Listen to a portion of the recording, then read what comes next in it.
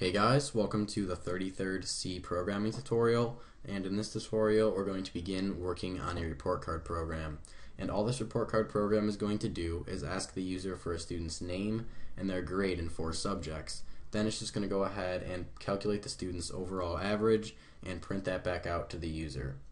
Alright, and we're going to be using a structure to do this even though you really don't need to. It's just that we need a little bit more practice using structures. Alright, so let's just go ahead and create this struct up here. So we're going to say typedef, um, typedef struct, and then we're just going to go ahead and call this struct report card.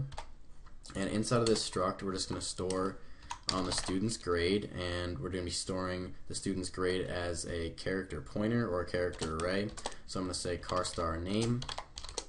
Then we just need to store four integers the student's grade in English, history, science, and math. So we're just going to say int science grade, um, history grade, math grade, and finally English grade. Alright, so here inside of this struct we just have the student's name and their grade in these four subjects. Alright, now let's just go ahead and create a function that will calculate the student's overall average and then print all that information back out to the user. So we're just going to create the function prototype right here.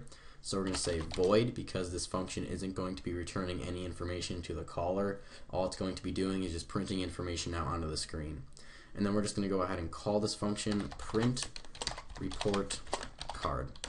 And then this function is going to take one parameter and it's just going to take a report card.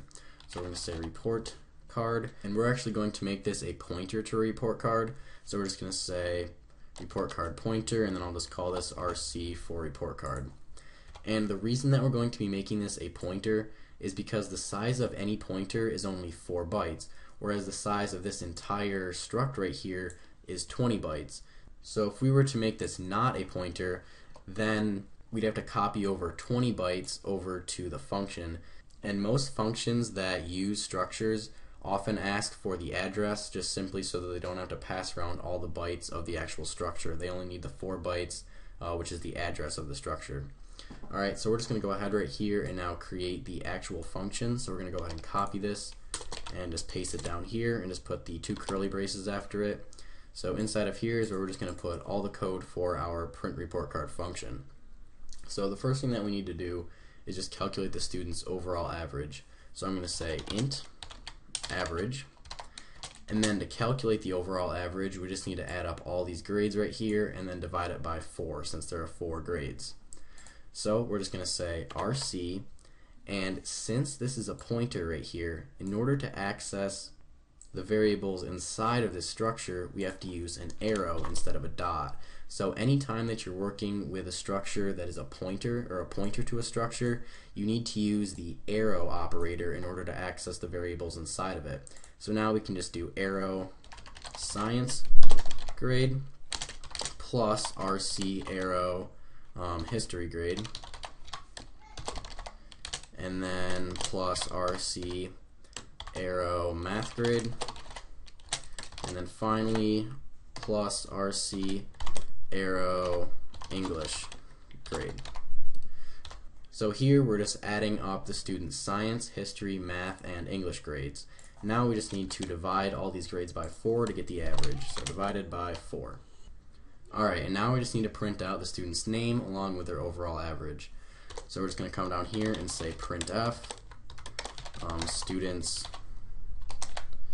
uh, name and then since the student's name is stored as a string, we just need to do percent %s. And then on a new line, we're just going to say overall uh, grade.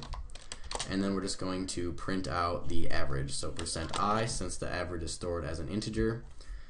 And then we'll just go ahead and do the student's name since we just want to print out the student's name right here. So we're going to replace this percent %s with the student's name.